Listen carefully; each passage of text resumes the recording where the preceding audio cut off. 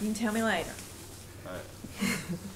Okay, so what we're going to talk about is uh, why you came to TCA, how'd you find out about it, all that kind of fun stuff. So first, tell me, tell me your name Well, my name's Robert Hooks. and how old are you? I'm 16 years old as of July 19th.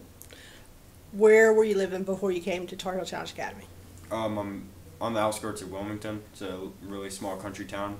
It's called Wrightsboro. Okay. How'd you find out about Tar Heel Challenge Academy?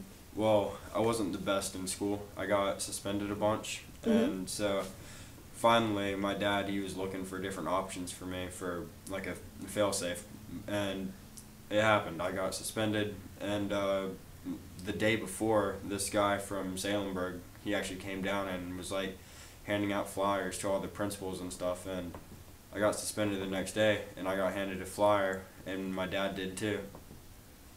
That was that was a moment of fate. So you didn't have a problem with coming. Were you upset? Did your dad not really give you much of a choice? Maybe. it was either come here or go somewhere else at my expense. Okay. So I definitely wanted to just get it over with instead of having to spend the rest of my teen years somewhere else. That's a good idea. So you came to Tar Heel Challenge Academy. Has there been a time that you wanted to quit? Oh yeah, many times. Many times. Can you tell me about maybe the worst time?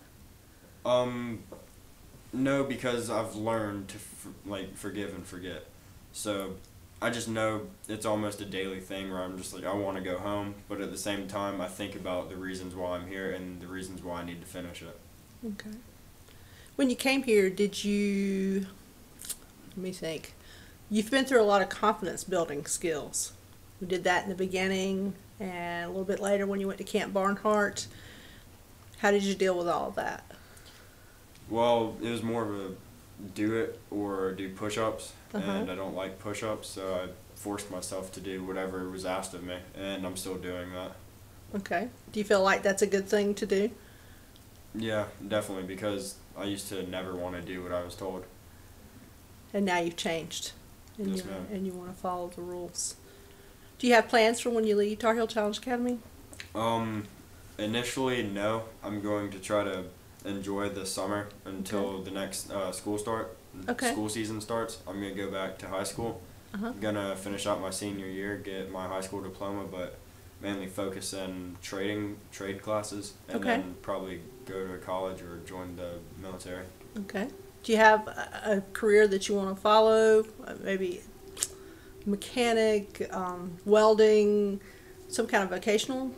Um, Career? I'm actually focused on getting my BSN and becoming a nurse. Okay, that's the first I've heard about that. That's that's a good thing. You can go through the military, be um, combat medic, that kind of thing. hmm Okay. What would you tell a person, another teenager who maybe was going through the same thing that you've been going through before you came here? What would you tell them about coming to Tar Heel Challenge Academy? Well, I'd tell them if they want to quit or if they're not strong-willed. A lot of don't do it. times we have a, we have trouble just getting the child to agree to come here, even though it would be a good thing for them. What would you tell that person? I definitely tell them that first off, they're going down the wrong path, and uh, you, you should draw it out for them and show them where it would go. My dad had to do this for me to convince me to come here, Mm-hmm. and I saw exactly where I was heading.